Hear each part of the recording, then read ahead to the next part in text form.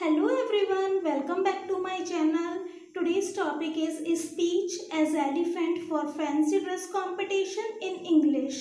Please do subscribe my channel. Good morning teachers and my dear friends. I am an elephant. I am grey in color. I have two small eyes, two big ears and two tusks.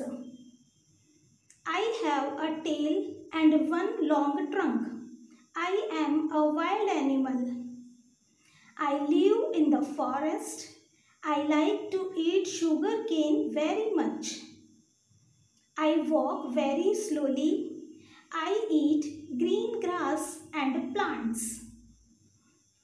Thanks for watching.